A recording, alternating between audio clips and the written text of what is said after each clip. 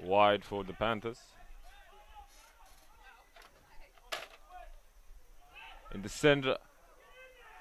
Oh, and that's a goal. That's a goal for the Adelphi Panthers. That's Rodrigo Roca.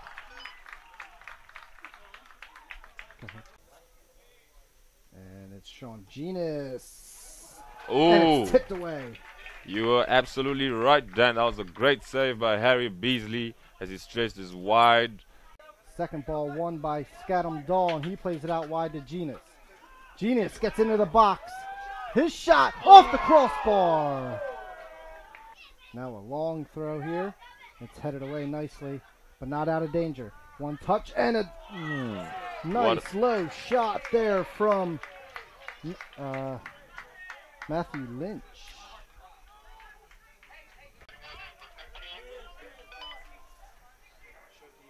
With the shot. And Beasley gets a hand on it at the last second. Adelphi and Wilmington were not either of those teams. And now a giveaway. It's Genus in the top of the box. He's Genus. got help.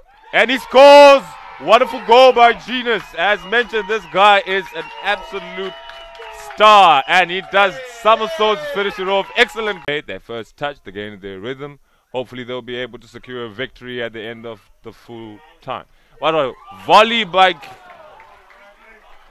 excellent volley by Yoshida. Unfortunately, are looking to counter. Yoshida has one on one if he wants them and goes outside to Genus. Genus. Genus. Oh, and that is unfortunate. That is Loreto Becerra who has the ball by himself, crosses it through, and it's a goal for Wilmington University. What a goal! Great cross by Lautaro Bariso. We have the fans, all the fans are in possession. It's Genus with the ball. Excellent stop. He's got control. Is he going to shoot? What a wonderful cross, and it's blocked by Beasley, and it's a goal by Wilmington Wildcats.